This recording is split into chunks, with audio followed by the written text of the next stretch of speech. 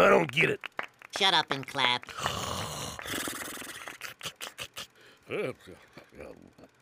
Looks like we only sold six tickets. Six tickets we wouldn't have sold if we hadn't made that movie. I call it my proudest achievement.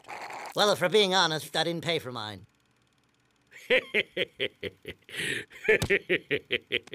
that boy is one of a kind.